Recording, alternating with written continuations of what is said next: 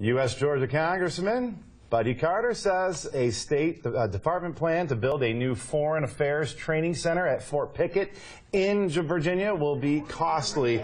The U.S. Congressman says the State Department could choose to expand at the Federal Law Enforcement Training Center in Brunswick instead.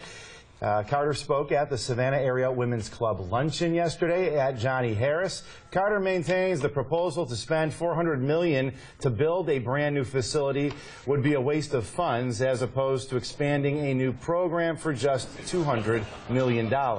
To be